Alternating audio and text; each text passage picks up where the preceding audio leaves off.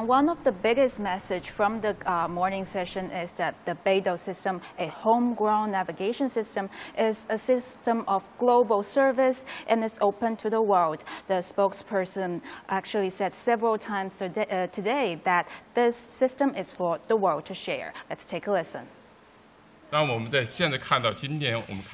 You can see that our system can provide navigation and positioning services globally. The number of satellites in our system has increased significantly.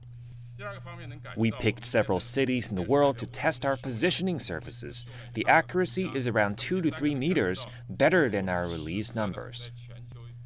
We're trying to create a timing and navigation system with made in China technologies.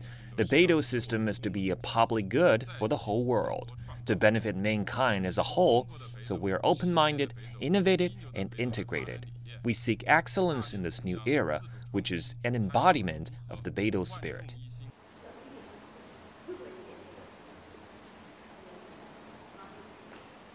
Well, Jia Yang, as the spokesperson said, high accuracy is one of uh, Beidou's biggest edge over other navigation systems. And he also said that the system is it's not a matter of interference, but a matter of synergy with other navigation systems, that's including GPS and Europe's Galileo. He also actually expected more cooperation in application with these other navigation systems. And talk about where Beidou is used. As of now, um, Beidou products have been exported to over 120 countries and regions across the world in areas like mapping, uh, targeting, targeted agriculture and international emergency rescues and many other areas. But uh, the uh, officials today also said that it's not only about the applications. Um, today, they've also, the Satellite Navigation Office actually have um, made this book of Beidou technicalities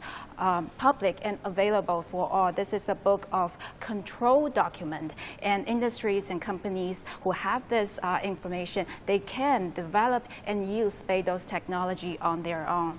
And as you have said, the Beidou system has come uh, into full-scale global service starting last uh, Friday as uh, declared by President Xi Jinping. And the system, the, uh, the officials today said, has unlimited potential. Jia Yang. Sun Ye, live for us in Beijing. Thank you very much.